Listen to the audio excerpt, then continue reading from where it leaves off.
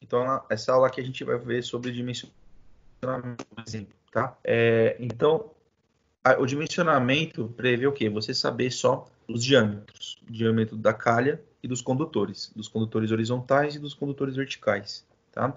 O diâmetro vai depender unicamente da chuva. Vários lugares do Brasil chovem de maneira diferente, né, com intensidade diferente, tá? Então, aqui no exemplo, a gente tem Piauí e Teresina, é, uma, um telhado com duas águas, como a gente pode ver aqui. O telhado tem um comprimento de 36 metros e uma largura de 10 metros, né? Cada água do telhado vai ter 5 metros. E a altura, 1,20m, né? Essa altura de 1,20m é a altura mínima para você colocar uma caixa d'água de 500 litros, para você ter um espaço, uma folga para fazer a manutenção da caixa d'água, beleza? Então, o que, que a gente tem que fazer primeiro? Você tem que escolher qual que vai ser o formato geométrico do condutor vertical, se ele é circular ou retangular, né? Então aqui no exercício ele está falando que vai ser retangular, né? Lembrando que a gente sempre compra, né, lá na loja de construção da Leroy Merlin, você sempre vai comprar a seção circular. Por quê? Porque ela tem uma vazão, a área dela é melhor aproveitada do que a retangular. Você tem mais espaço. Então você sempre usa a seção circular, tá? Mas aqui no exemplo vamos manter a retangular. Então, nessa tabela aqui, você tem que ver a tabela de, lo, de local. Né? Aqui vai ter as capitais da, é, dos estados, né? Então, aqui no caso, Teresina, Piauí. Aí a gente vê aqui, na segunda, na segunda coluna, a gente tem ó, bocal retangular e bocal circular. Se vocês observarem, vocês vão ver que o, o, o circular, ele sempre tem um, um número maior, tá vendo? Ó? Por exemplo, Teresina. Retangular, o condutor vertical, 70 metros quadrados. Né? Ele suporta uma área de 70 metros quadrados de chuva. O circular, ó, 89 metros quadrados, tá vendo? Ele suporta aí quase 20 metros quadrados a mais, entendeu? Então, por isso que a gente sempre usa o circular, tá? Então, se vocês verificarem aqui, ó, a localização é muito importante, porque a chuva vai se comportar de maneira diferente em cada, em cada região, né? Então, por exemplo, ó, você pode ver que os valores se alteram, né? Por exemplo, ó, São Paulo, ó, 97, Teresina, chove menos, 70. Se você pegar lá pro lado lá, por exemplo, ó, Aracaju, ó, 137, então vai variar, tá? Então aqui no caso, o que, que você vai fazer? Você vai escolher o, a segunda coluna, 89, é, desculpa, a primeira coluna que é retangular, né, o bocal do condutor. Então aí no caso, cada condutor, ele vai aguentar 70 metros quadrados de área do, do telhado, tá certo? Então a gente chama de área do telhado, tá? 70 metros quadrados, tá? Aí no próximo, no segundo passo, o que, que é o segundo passo? Você precisa calcular a área do telhado, tá? Você tem que calcular a área do, a área do, do telhado. Então, no caso aqui, quando o telhado tem duas águas, você usa essa fórmula, né? Então, ali, ó, o que, que vai ser, ó? AC a gente chama área de, de, de, cobertura, né? Área de contribuição do telhado. O que, que vai ser a área do AC? Vai ser o A mais o H dividido por 2, sendo que o A é a altura do telhado, o A, desculpa, o H é a altura do telhado, o A é a largura de cada água, no caso 5 metros, e o B é o comprimento do telhado. Então, é só você jogar na, na fórmula aqui, ó.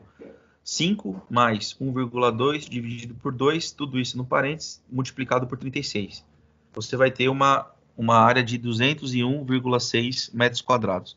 Arredondando, você pode colocar aqui 202, tá? Então,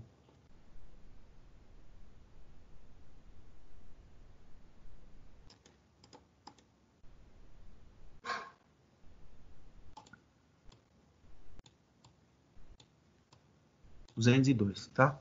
Beleza. Então aqui, ó, né? A gente tem as figuras e cada figura vai ter uma área diferente. Se você tem a área, é, no caso, o telhado de duas águas, você vai ter essa fórmula.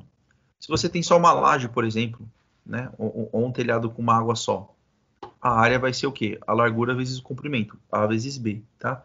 Se, por exemplo, você tem uma laje que ela está ela está colada numa parede que a, essa parede também vai contribuir com a água da chuva, né? Uma parede na vertical. Olha só, também você vai ter que considerar a área dessa parede que está em pé, tá bom? Então, cada formato vai ter uma área diferente. Lembrando que com a ajuda do computador fica fácil de você calcular a área, né? Você faz o telhado no SketchUp ou no AutoCAD em 3D e aí você consegue pegar a área, tá bom? Depois eu faço um exemplo aqui no, no, no, no, no SketchUp, tá? Então, beleza. Aí o que, que, você vai ter que fazer? Você tendo a área, do, a área do telhado, você vai dividir pela área de cada condutor. Ou seja, o AC, que é a área da cobertura, dividido pelo AT, que é a área do condutor, né? Você dividindo a área do telhado pela área do condutor, ou seja, AC pelo AT, você vai ter a quantidade de condutor para cada lado do telhado, entendeu? Então, no caso aqui, ó, se você pegar 200 e, 202, né, 201,6 dividido por, por 70, você vai ter 2,88 condutores. Arredonda para cima, 3. Só que é 3 para um lado só, né? Como é só, é, tem um outro lado, você espelha. Então, 3 vezes 2, 6. Você vai precisar de 6 condutores, tá? Ó. Então, aí, ó, no exemplo, ó, olha como vai ficar. Você vai colocar um condutor em cada extremidade e um no meio, né? Um a cada 18 metros. Essa fórmula, na verdade, é, é só é para você saber o, o, distância, o distanciamento entre um condutor, entre cada condutor vertical, tá? Ele fala que é o que? É, a distância entre cada condutor é B, que é a largura do, do telhado, o comprimento do telhado, dividido pela quantidade de, de condutor menos 1. Tá? Então, no caso, 36 dividido por 3 menos 1, né? 3 é a quantidade, 18 metros. Mas no CAD é fácil, né? Você pega pelo midpoint, né? Já dá certinho no meio, tá? Beleza. Aí aqui a gente vai ter o, o segundo exemplo, né? O primeiro exemplo só foi para saber a quantidade de condutor, né? Bem simples. O segundo é para a gente calcular o diâmetro, né? Já é um projetinho um pouquinho mais completo, beleza? Então aí a gente tem ó, as seguintes características do nosso telhado, né? A gente tem aí, ó, é, como que vai ser? A gente tem o telhado aí que ele vai ter também o telhado com duas águas, tá bom? Aí você vai ter aí, ó, cada água vai ter 5 metros, tá? Ele vai ter um comprimento total aí de 20 metros. Ele dividiu o telhado em duas áreas. Ele dividiu A1 e A2, tá vendo? A1 e A2. Telhado de duas águas. Pé direito do telhado, 3 metros, aí tem o 300 está em centímetros. E a altura do, do, do, do, do telhado, 1 metro, né? Tá, tá, tá baixo, tinha que ser 1,20m. Mas é didático, vamos, vamos manter assim. E aqui ele já desenhou ó, a calha aqui, ó. Desenhou a calha aqui que estou circulando em vermelho. Ó, tá vendo? Ó, e aí ele fez o seguinte, ó. Ele já ele tá falando para mim, ó.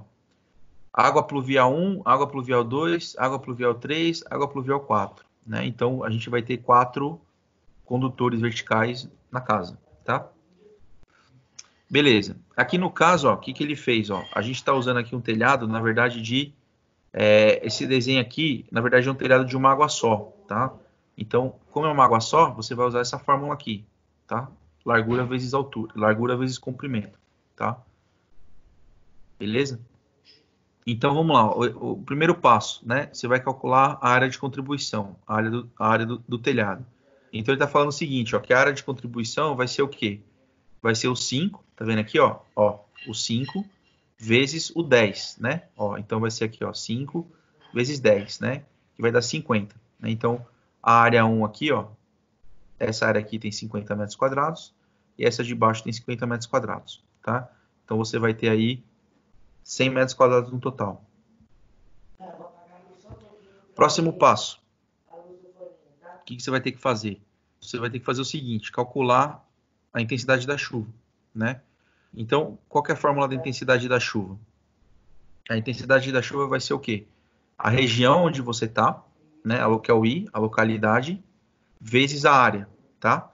Vezes a área dividido por, dividido por, 70, por 60, né? Por quê? Porque uma hora tem 60 minutos, né? Então você divide por 60 para ter o resultado em minutos. Então aqui pra, aqui tá falando que é Goiânia. Se a gente voltar naquela tabela lá, eu, vou voltar bem a tabela aqui, ó. Você vai ver que cada região tem chove de, chove de forma diferente, né? Então vamos voltar. Opa. Aqui, ó, peraí. Não, esse aqui não é tabela de escoamento. Aqui, ó. Então aqui, ó. Se você pegar Goiânia, por que 178, 178, né? Aqui, ó, Goiânia, tá vendo aqui, ó? Ó, 178, ó. Tá vendo? Lembra que eu falei, ó, cada coluna tem uma, uma um tempo de retorno, né? No caso aqui, ó, o tempo de retorno, 5 anos, né? Lembra que eu falei que é o tempo de retorno? A cada cinco anos vai ter uma chuva tão forte que ela vai ser capaz de dar um problema na obra de engenharia, né? Então, quanto mais, quanto mais extenso o, o tempo de retorno, né? O que acontece? Mais você barateia a obra, né? E quanto mais curto o tempo de retorno, mais, mais você superdimensiona ela e mais cara ela fica, tá? Então, a gente sempre fica no meio, moderado, né? Nem tão curto, nem tão longo. Então, a gente adota cinco anos. Tempo de retorno de cinco anos, né? Então, a cada cinco anos vai ter uma chuva muito forte. Então, beleza. Então, aqui, ó, a gente vai ter 178 milímetros por hora, tá? Que é Goiânia. Então, voltando lá no exercício.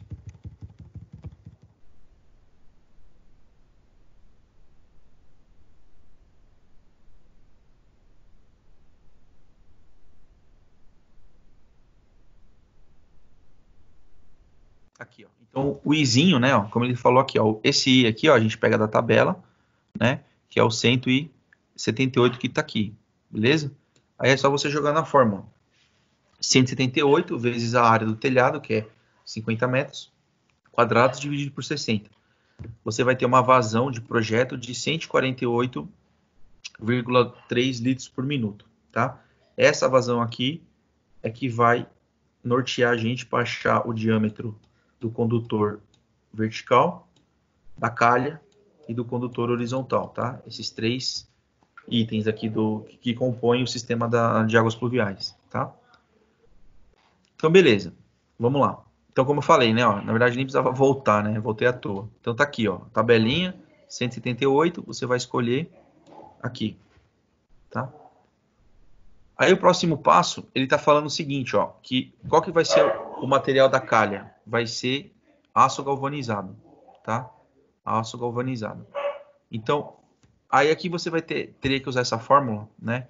Você teria que jogar todos os elementos nessa fórmula. Só que não precisa. Você vai usar o quê? Você vai usar o, a tabela, né? Então, aqui, ó. Ele está falando o seguinte, que quando você usar aço galvanizado, você vai o quê? Considerar o N, que é a coeficiente de rugosidade, igual a 0,011, tá? Pera aí, pessoal, rapidinho.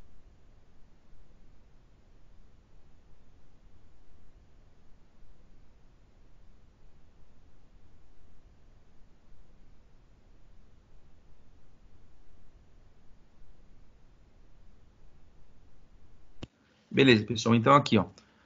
Lembrando que o aço, o aço galvanizado, PVC, ferro, você sempre vai adotar esse coeficiente aqui, que é o Nzinho, que é chamado de rugosidade, tá? É o coeficiente mais comum, que é 0,011, tá bom? 0,011. Então aqui ele está falando o seguinte, ó. A calha, ela vai ter uma seção retangular com as seguintes dimensões. 10 centímetros de largura, né?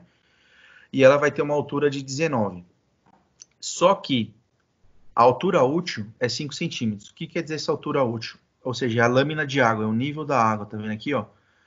Embora a calha tenha 9 centímetros, você só vai usar 5 centímetros dela, né? 4 centímetros você vai deixar aí como faixa de segurança. Então, isso é chamado de área útil, tá bom? É, o que, que você faz? Você pega esses valores e joga na fórmula, né? No caso aqui, ó, K é o coeficiente do material, que é o 6.000. O N é o coeficiente de rugosidade, tá? Essa tabela aqui, na verdade, é o método mais, é, como posso dizer, detalhado, né? Você pode fazer pela tabela também. Então, essa fórmula aqui, você pega o K, 600. O S é o quê? É a área transversal. Então, se você pegar 10 centímetros e multiplicar por 5 centímetros, a área da, da, da água, você vai ter 0,05 metros quadrados, tá? É, o N é a rugosidade, 0,011, tá? Certo? O R, o raio hidráulico, o que é o raio hidráulico? É o perímetro da água, né? Então, ou seja, vai ser 10 mais 5 mais 5, vai ser 20, né? E vai ser o, o perímetro que a água cobre a calha, tá? E o Izinho é a, é a intensidade, lá, aquele 178, tá? Então, ah, desculpa, o I, no caso aqui, confunde, não é, é na verdade, a declividade da calha, no caso, meio por cento? Então, com esses valores, você joga na fórmula. Tá vendo aqui, ó? ó o K, 600, você joga na fórmula. O, zero, o S, você joga aqui, ó. O 0,11 você joga aqui. A área molhada você joga aqui, 0,025. E o Izinho, que é a declividade, você joga aqui, ó.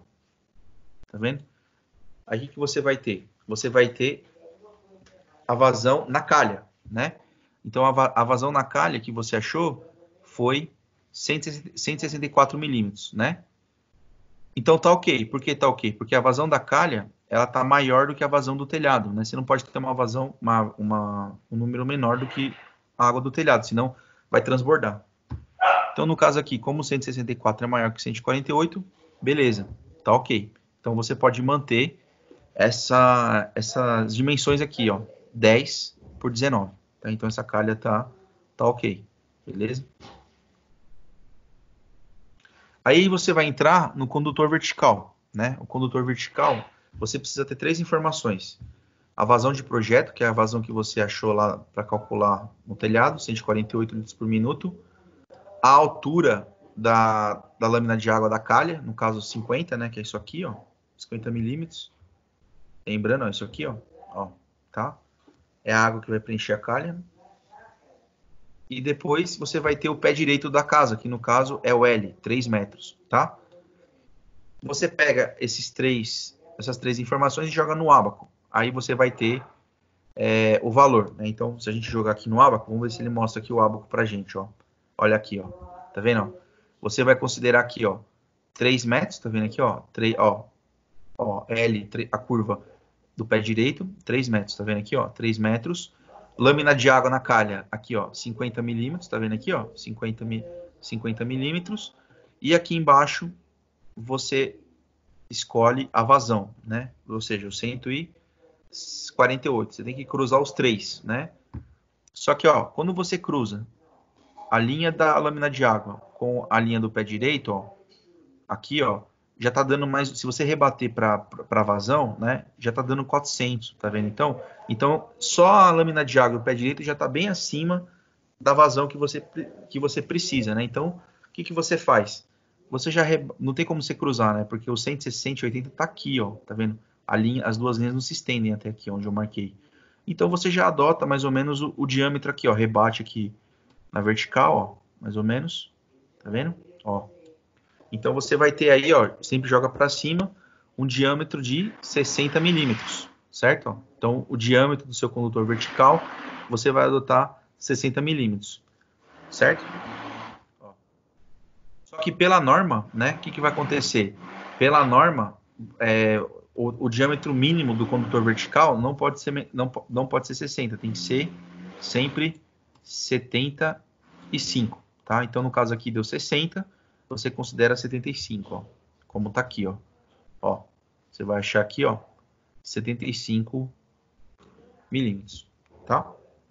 Beleza? O exercício, ó, ele ele se encerra por aqui, tá? Mas vamos supor que se a gente quisesse achar para esse exercício aqui a, a, o diâmetro da, da calha, né? Da calha. Então, na calha aqui, ele já, ele já adotou esse valor de 10 por, por 19.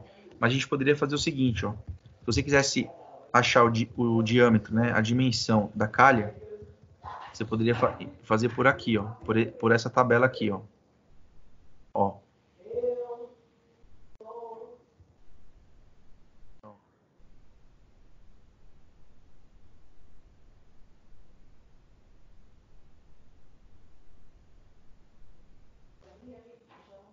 Aqui, ó. Pra, ó, você se baseia por essa tabela aqui, ó. Tá vendo, ó? Bem simples, ó. Você já tem a sua, a sua vazão que você achou que vai. Vamos, vamos arredondar para 168. Certo? Ó, isso aqui é para eu achar o, o para eu achar o diâmetro da calha, tá? O diâmetro da calha. Então, ó, o que, que eu faço? Ó, 168. Eu, eu, como projetista, escolho a declividade. Então, no caso, eu quero uma declividade de 1%, tá? 1%. Então é só achar aqui na coluna ó, o valor que mais se aproxima com o valor meu, do, da minha vazão. Então, no caso, 183. Então eu rebato aqui, ó. Né? 183 é maior que o 68. Então já rebata aqui, ó. O diâmetro da calha vai ser 100 milímetros. Tá vendo? Então é bem mais fácil. Você já adota aí o diâmetro, o diâmetro é, de 100 milímetros. Aí é claro, né? Se você tem um diâmetro de 100 milímetros, né? Aí você escolhe uma calha circular, retangular, né? Desde que o formato da calha tenha um, uma, um, um diâmetro, né, uma largura de de 100 milímetros, tá? Lembrando que essa tabelinha aqui, ó, ela é o quê?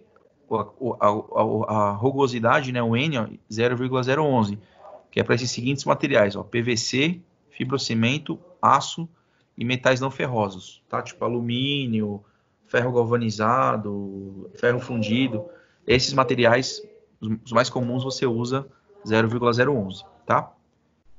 Certo? Então, não tem muito segredo você fazer o cálculo do, do condutor vertical, né? Nem do, nem do horizontal, tá? Então, o dimensionamento é mais ou menos é, é, simples, é, é simples, né?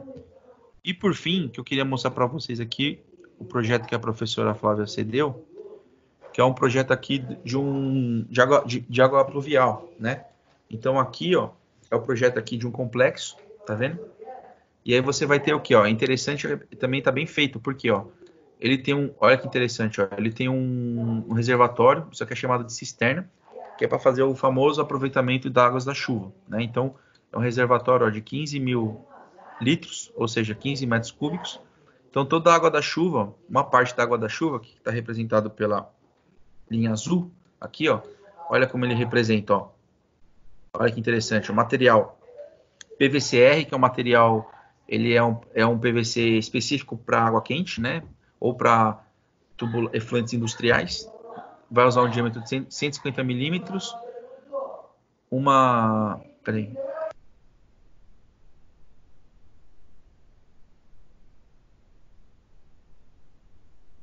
Ó, então aqui, ó. Vai, vai ter uma declividade de 1%. Ó a setinha indicando o caminho da água, ó. Setinha vermelho, ó. Aí a gente vai ter o que depois? Aqui, ó. Olha as caixas de inspeção, ó. Tá vendo aqui, ó? Caixa de inspeção, só que ela colocou como CA, que é caixa de areia. Que é o que? O amortecimento. Lembra que eu falei? O sistema de amortecimento. A água vem com uma velocidade alta, bate na areia para amortizar. Então a gente fala que é caixa de areia. Então olha aqui, ó. Toda a água está correndo para cá. Tá vendo aqui, ó? Uma parte vai para vai para cisterna e as outras vão ser escoadas diretamente para a rua, né? Ó. Então você tem todo o sistema aqui, ó, que joga a joga a caixa de água. Aqui no caso, na verdade, está jogando tudo para para cisterna, né? Então aqui, ó, toda toda a água está confluindo para para cisterna, né? Aí você vai ter o que aqui, ó? Olha aqui o condutor vertical, ó. Tá falando que é o AP, água pluvial 6, né? Tá numerado, AP6, AP5, vai ter um diâmetro de 100 milímetros, né? E aqui, ó, você tem a calha, quer ver? Aqui, ó, aqui é a planta de cobertura. Aqui você tem a calha, tá vendo? Ó, calha em platibanda, a moretinha né, de um metro, tá vendo aqui, ó? E aqui ele já está indicando o sentido da, do fluxo da água, né? Aqui na calha só faltou a declividade, mas pode ser um ou meio por cento, ó. Então a água cai aqui, né, ó. Ó, tá tudo numerado bonitinho, ó. A P2 aqui, ó. Ó, a P2 aqui vai cair aqui para a cisterna, tá vendo aqui, ó? Tem uma bomba para poder jogar água, ele já colocou, já, já dimensionou a bomba, né? Uma bomba submersa que trabalha com dentro da água. Ó, ela tem uma, uma vazão de 2,5 metros cúbicos por hora e, vai, e tem uma pressão máxima de 5 MCA, né? Aqui, ó. E aqui eles também preveram dois filtros para poder reter as impurezas que vêm da água da chuva, tipo galho, é, algum sólido, algum algum, alguma partícula, né, que pode entupir a bomba, eles colocam essa, esse sistema de filtragem aqui para reter o material particulado, tá? Ó? Então, para vocês verem, né, como que o projeto de, de, como que é um projeto de águas pluviais, tá?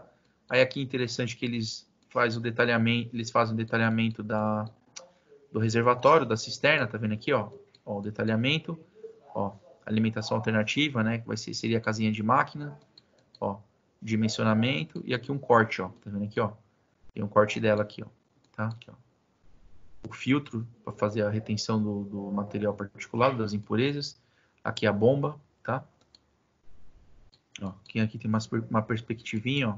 A água, ó, vem da água da cobertura, ó, chega aqui na água da cobertura, o filtro aqui retém, joga para o reservatório e uma parte é descarte automático, né, que vai vai para a rede pluvial, tá? Aqui você tem a simbologia indicando as conexões e a linha azul indicando que é a rede de água, água pluvial. Mas o que vocês precisam saber? Geralmente, diâmetro de condutor horizontal sempre é 125 e 125 150 milímetros E o condutor vertical a gente sempre adota geralmente entre 100 ou 75 milímetros, tá? Geralmente é isso, tá bom? Então, pessoal, o que eu queria passar para vocês é, era isso. Vocês têm alguma dúvida? Quer fazer alguma pergunta? Professor, tá ouvindo? Oi? Tá ouvindo? Tô, pode falar. Então, aqui meu microfone não é muito bom. Então, é, deixa eu falar uma, fazer uma pergunta. Todo esse sistema de coletagem da água pluvial é cobrado alguma coisa da Sabesp? Não, é, não, essa água você. A única restrição que você tem é que você não pode usar essa água para consumo, né? Essa água é só para limpeza, entendeu? Ah, entendi. Entendeu? Tá. Mas assim, você não tem um. Vai depender do município. É, a maioria dos do, é, tem municípios da Sabesp no interior que eles dão desconto para quem é empresário, entendeu? Então, vamos supor, o cara tem um lava rápido, um, alguma coisa assim, aí ele ganha, ele usa água de reuso, aí ele tem um desconto no, na, conta de, na conta de água. Mas geralmente é para pessoa jurídica, entendeu? Ah, entendi, entendi. Obrigado. Tá. Beleza, pessoal? Alguém tem mais alguma pergunta?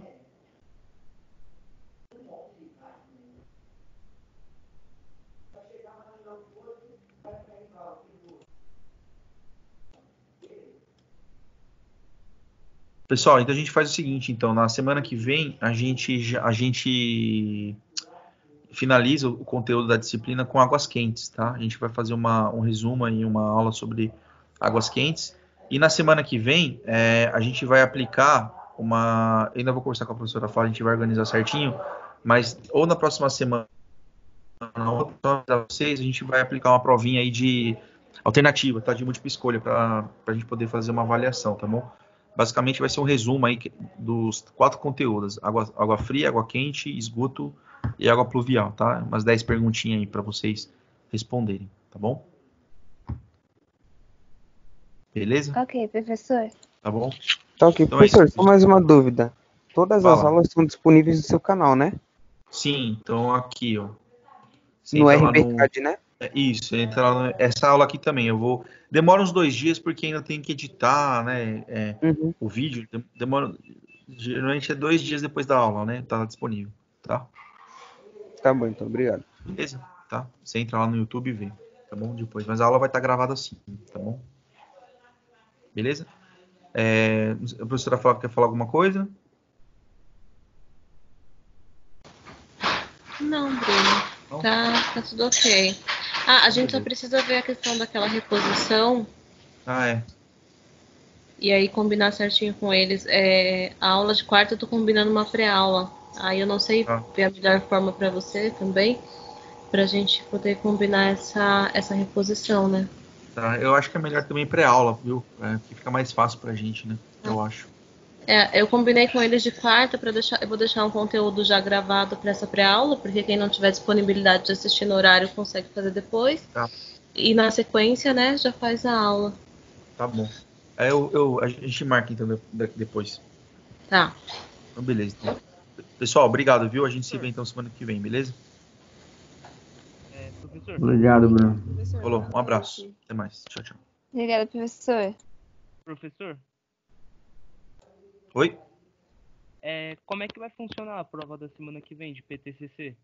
Não, a prova a gente ou fica para semana que vem ou na outra, mas vai, vocês vão fazer pela aba da, da, da tarefas, pelo Microsoft Forms. A gente vai disponibilizar ah, tá. o questionário, vocês respondem pelo Teams mesmo. Tá certo, obrigado. Tá? É bem simples, tá? Beleza, pessoal? Então, Beleza, um abraço. Boa noite. Até mais. Boa noite, um abraço.